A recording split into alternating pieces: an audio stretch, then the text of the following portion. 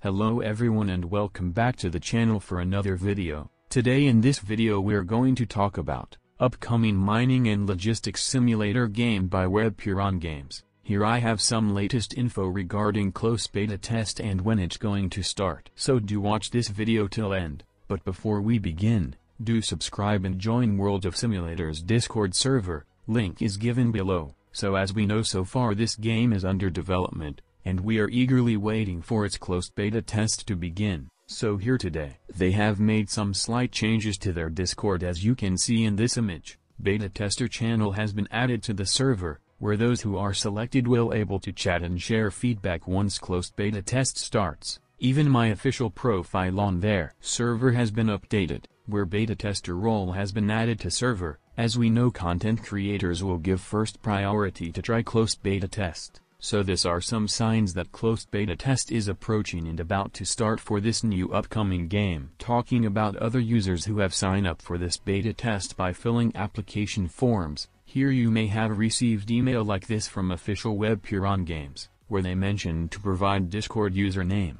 so you will get tester role on their Discord, and will able to play this game. Here you will have to sign up once you have been selected by them, so keep checking your inbox if you have filled the forms. Also talking about when this beta test is going to start, so here developers have replied to the users. It will be announced on their special channel, which will be beta tester channel where we will get this news. Also download option will come first to beta users by Google Play, and sign up option for rest users afterwards, so those who have selected will given first priority to get access of this game. Last talking about when it will officially release for everyone. Here it's mentioned as release date will be finalized after testing, and bugs which we will encounter in beta will be fixed and then developers will able to release game for everyone, which is expected to release by end of this year or in early 2023. So that's all for this video. I hope you like this info for close beta test. Looking at it beta tests may begin within next two weeks,